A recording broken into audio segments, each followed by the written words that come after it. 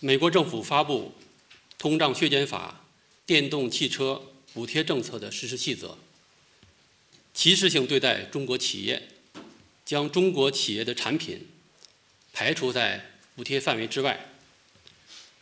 这是典型的非市场导向政策和做法。美方上述歧视性补贴政策违反世贸组织基本原则，严重扰乱国际贸易投资。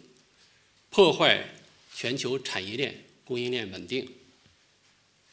目前，包括中国在内的多个世贸组织成员，已在世贸组织货物贸易理事会等场合，对上述政策表达严重关切。电动汽车是科技先导型产业，充分竞争是技术进步的关键。美方人为设立。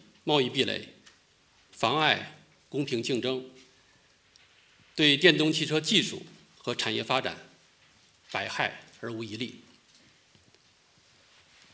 美方应尊重市场原则，严格遵守世贸组织规则，纠正歧视性补贴错误做法，营造公平公正、非歧视的营商环境。